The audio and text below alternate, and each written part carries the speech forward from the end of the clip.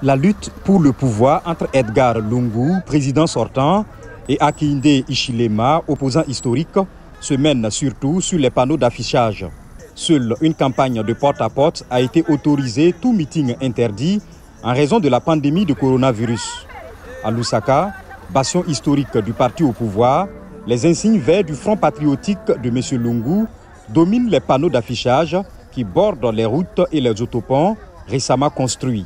Ces militants vantent les réalisations dans les domaines du bâtiment, de l'agriculture et de l'emploi des jeunes.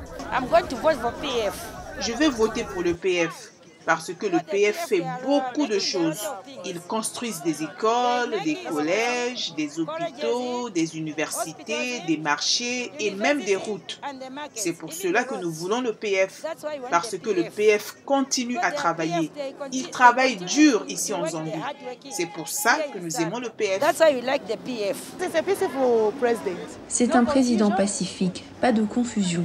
C'est pour cela que j'aime Lungu. Il y a toujours la paix, il n'y a pas d'effusion de sang. Des arguments que refutent les partisans du Parti uni pour le développement national, le parti du principal opposant Akinde Ishilema. Les difficultés économiques ont en effet érodé le soutien à Lungu, accusé d'avoir emprunté de manière insoutenable pour financer des projets d'infrastructure tape à l'œil alors que le coût de la vie monte en flèche. Chaque problème doit avoir une solution et le problème auquel nous sommes confrontés en ce moment est un problème de mauvais leadership. C'est un problème de mauvaise gouvernance et si les gens sont intimidés et restent chez eux sans voter, alors nous ne changerons pas le statu quo. Si nous votons pour Hakainde Hichilema, nous aurons plus d'emplois pour les jeunes et l'éducation sera valorisée.